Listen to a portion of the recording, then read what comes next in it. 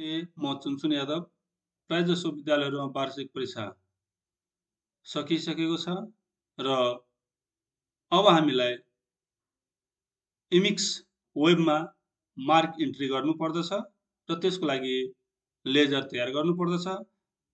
इमिक्समा mark entry गर्नको लागि कस्तो किसिमको लेजर तयार गर्दाखेरि इमिक्समा चढाउन सजिलो हुन्छ त्यसको लागि म आफ्नो छोटो अनुभव यहाँ राख्न गइरहेको छु। हामी एकचोटि इमिक्स वेबलाई हेर्दैछौँ। हेर्नुहोस् त यहाँ म्यानेज इक्जाम छ। म्यानेज इक्जाममा गएपछि हामी के गर्ने हो? मार्क इन्ट्रीमा गर्ने हो अनि यहाँ के गर्ने हो? सिलेक्ट इयर गर्ने हो अनि क्लास वानमा चुज गरेँ क्लास वान टू थ्रीको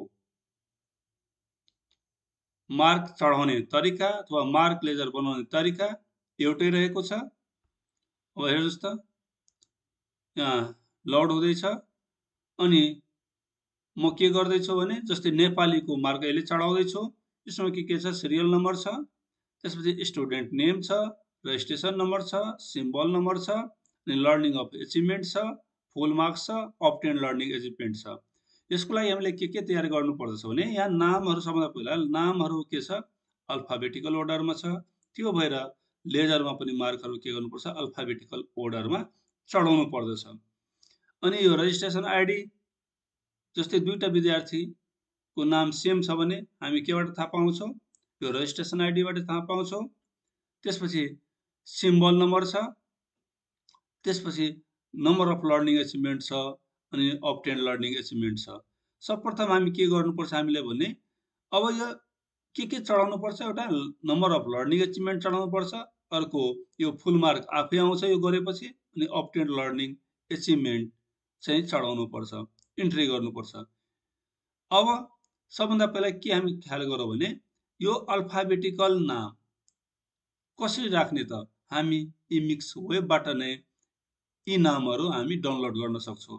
यसको लागि हेर्नुहोस् त्यहाँ दिएको छ कन्ट्रोल सिट कन्ट्रोल सिटमा जानु होला अनि त्यसपछि सेलेक्ट दुई हजार अस्सी गर्नु होला अनि कुन क्लासको तपाईँहरू तपाईँ चाहिँ नाम लेख्न चाहनुहुन्छ त्यो क्लास दिनु होला अनि यहाँ के गर्नु होला भने लोड गर्नु होला लोड गरेपछि के गर्नु होला यहाँ? एक्सपोर्ट गर्नु होला अनि एक्सपोर्ट गरिसकेपछि यहाँ एक्सपोर्ट गरिसके अब हेर्नुहोस् एक्सपोर्ट हुँदैछ। अनि यो एक्सपोर्ट भएपछि अब हामी के गर्न सक्छौँ भने यहाँ ओपेन गरेर हामी नामलाई अब हेर्नुहोस् यहाँ आइसकेको छ। हामीले के के आवश्यकता छ? स्टुडेन्ट आइडी छ अनि स्टुडेन्ट आइडीले हामी के गर्ने हो? एनिवल एडिटिङ गरेर होइन? अनि कपी गर्ने हो स्टुडेन्टलाई नेमलाई कपी गर्ने हो होइन? सिम्बल नम्बरलाई के गर्ने हो हामी? कपी गर्ने हो। त्यो कपी गरेर हामी कहाँ राख्ने हो? अब जहाँ हामी रिजल्ट तयार पार्दैछौँ। त्यस्तै यदि हामी क्लास फोरदेखि माथि क्लासको गर्दैछौँ भने त्यसको लागि के के चाहिन्छ? पहिला त्यो चाहिँ हामीलाई कन्फर्म हुनु पर्दछ। अब हेर्नुहोस् त। यसमा स्टुडेन्ट आइडी छ स्टुडेन्ट नेम छ अनि यहाँ रोल नम्बर दिनुहुन्छ भने सिम्बल नम्बर सिम्बल नम्बर आउँछ। अनि त्यसपछि हामी के गर्ने हो भने हामी के गर्दैछौँ? मार्क इन्ट्री गर्दैछौँ होइन?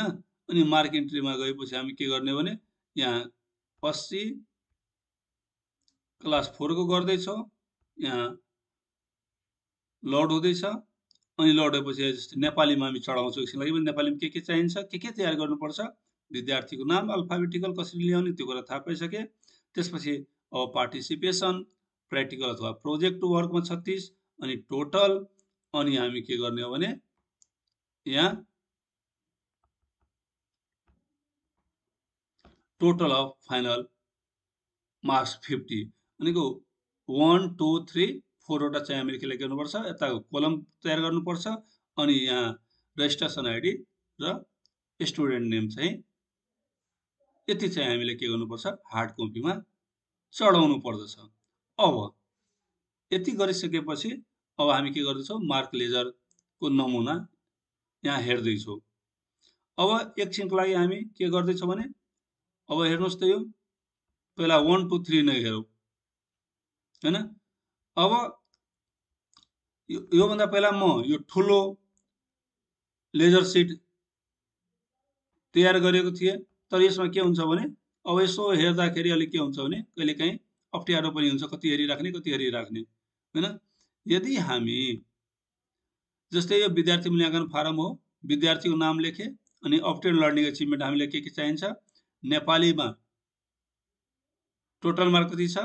छ सय इङ्ग्लिसमा नौ सय म्याथमा नाइन्टी टू सेरोफेरोमा हन्ड्रेड एट अनि लोकल सब्जेक्ट जुन छ यो लोकल लेभलले थिम र सिकाइ उपलब्धि निर्धारण गर्ने हो या विद्या विद्यालय स्वयंले पनि गर्न सकिन्छ अब हेर्नुहोस् त्यहाँ नेपाली हो नेपाली सब्जेक्ट छ यो हन्ड्रेड फिफ्टी हो सिकाइ उपलब्धि सङ्ख्या अनि यो अलेभेन के हो भने यो ब्रेकेटमा जति छ eleven eleven six ten eight त्यो के हो भने थिम हो। त्यो थिममा यति सिकाइ उपलब्धि रहेको छ।